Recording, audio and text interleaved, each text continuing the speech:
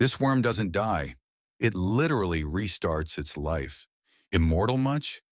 Imagine dying and then being reborn from yourself. That's not sci-fi. That's the planarian worm. These flatworms are like the real-life reset button of nature.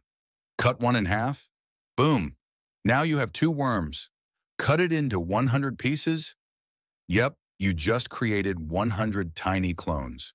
That's because planarians have an insane amount of stem cells, like little blank slates that can turn into any part of the body.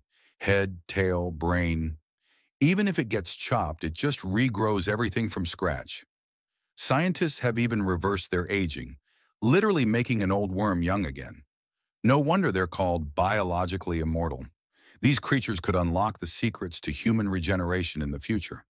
So yeah, next time you see a worm, maybe don't underestimate it.